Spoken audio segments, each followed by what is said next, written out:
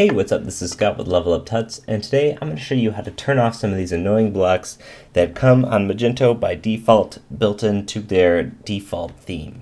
So some of these blocks you may have noticed, uh, so this may look different than yours because I have our theme installed on it, uh, but if you were seeing this typically, you'd be seeing this PayPal logo um, right here in the right sidebar and uh, there's a whole bunch of these other blocks like the um, the cart in the sidebar, the back to school logo, the dog picture. Uh, these are sort of things that pop up throughout Magento that they've put in here by default. And let's say you just want to turn them off. Okay? So we're going to be doing that by using a file called local.xml. And what this is, is this file is going to be the last file that Magento looks to when determining these layouts. And because of that, you're able to put anything that you want to override in this one particular file and everything is going to get overridden that you tell it to. So this is an easier, let's say if you want to remove a whole bunch of these blocks, it's going to be easier uh, to create this local.xml file than it would be to copy and paste in all the XML files you need and modify them there. So let's go ahead and create a new file. Um, I'm going to do that within Sublime Text under app and then design and then front end and then our theme default and inside of layout I'm going to click new file and I'm going to save this as local.xml. Okay, so here is local.xml and in here we want to have a normal XML tag. You can copy this from one of your other ones. Uh, in fact, we can just go ahead and do that. If you're familiar with XML, uh, you know exactly how this should look. You have opening and closing tags and everything like that. But all we need inside of this local.xml file is an XML tag, the header tag, and we're going to have layout, um, and then we're going to need default. So just like we had before with default, this is going to be default. And inside of this default is going to be everything that we want to override.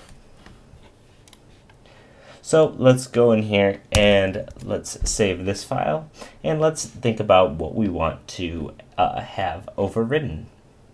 Let's go back to our page here and check out that PayPal logo. So we're seeing this in its Mage PayPal block logo. And you can see this is being generated in the template PayPal partner logo PHTML. So let's go ahead and find this XML file and let's check this out. Um, if we scroll down here, we can find it under paypal.xml. If you remember, you can find it in directly past the uh, the directory that's directly after the template. So default template PayPal, therefore we know this is going to be paypal.xml. And let's open this up in Sublime Text here. Okay, let's scroll down here, and the one we want in particular, let's go back to our home page here, is this uh, block logo. Let's scroll down here and we can see exactly which one this is. So if we know that this uh, this right here is being generated by template PayPal partner logo, let's actually search for logo.phtml in here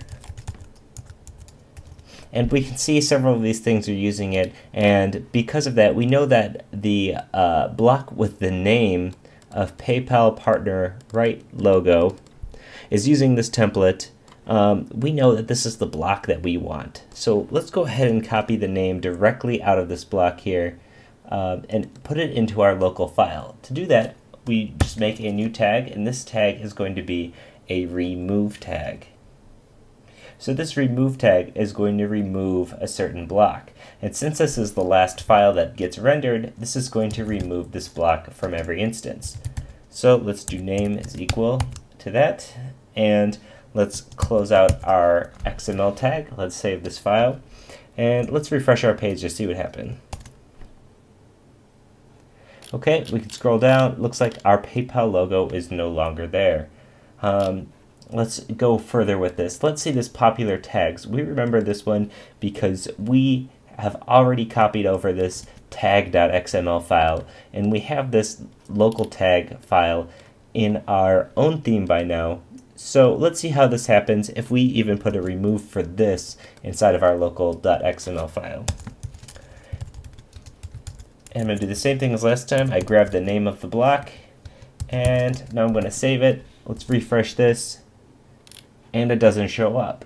Because like I said, this is the last thing that gets rendered. So uh, it doesn't matter what else you're doing on your page to say, hey, show up. Uh, it's not going to show up. Okay, so let's check out this image right here. And this is the back to school callout thing. Um, I don't know why it's having such a hard time finding this image. Uh, for some reason, it's not finding it. But regardless, I don't want this back to school block to show up, okay? Uh, and I'm sure you probably don't either because you you know you didn't make it yourself and it's some generic image. So let's come back to our, our page here. And we know that this is going to be in template callouts uh, and then right column php.html. So, but I know you might be getting the hang of this. You'll see this template callouts, and you'll know to look for callouts.xml, and you'll get here, and you'll be super upset when you don't see it because you'll feel like you've just started to understand this. Well, these callouts are something that are actually a little bit more particular. These callouts are actually hard coded into the Magento default layout.xml file. So let's actually check this out, and this is going to be in catalog.xml.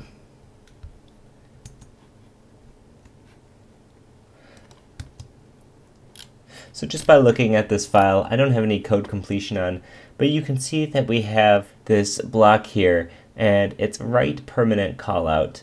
Uh, and the temp template is using, just like we uh, would assume here, it's using callouts, right column. It's exactly the one we're looking for. Um, but what we want to do here is we don't want to import this XML file, whatever. We're just going to do the same thing we did before. And now that we have the name of it, we can check right permanent callout. Um, and we can use that. I'm actually just going to throw this in Sublime Text now so I can just copy copy that right out so I don't have to uh, type it and possibly get something wrong. So let's scroll down here. Uh, I'm going to look for right dot, okay, right permanent callout. This is the block we want. Um, and th these are sort of a pain. I don't know why they're different. Uh, let's go to here, remove name, and then our name, our right callout, save it, come back here. Uh, my page crashed for some reason. Okay, cool, we're back.